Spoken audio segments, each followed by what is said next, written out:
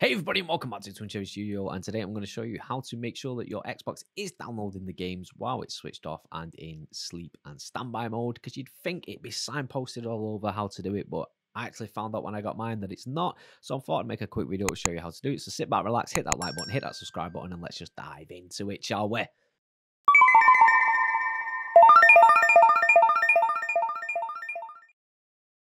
Okay, so the first thing we need to do is go to the settings app. Uh, you do that if it's not on your screen there, you press the Xbox button and then press the right bumpers until you get to your name. Scroll all the way down. There it is, settings. Boom, open settings. Then in settings, we go to the general tab and go to the bit where it says sleep mode and startup.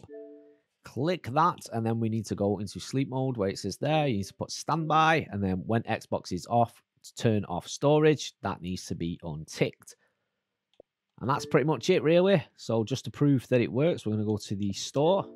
And I'm just going to quickly start downloading a game. Preferably one that I want to play later.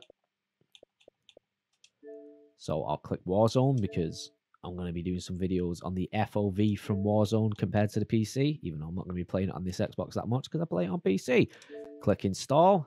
So that's going to start installing.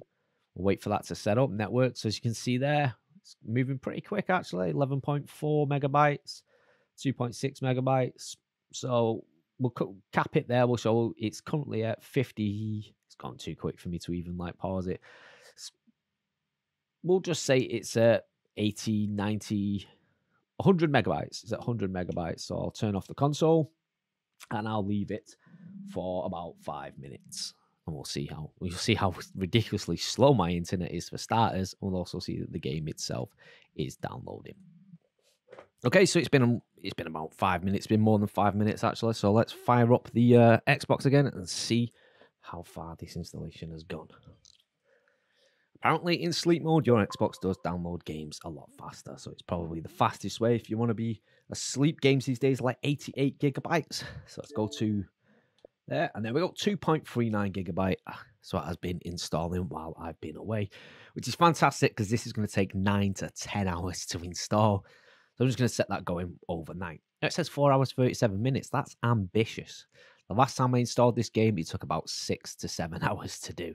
And also, as you can see, my internet isn't exactly the greatest 40 megabits per second, which that's actually a bit of a scam, really, because it's not megabytes, it's megabits. But that's a topic for another video. So if you've liked this video, hit that like button. If you're new here, please consider subscribing to the channel. And uh, as always, don't do anything I wouldn't do.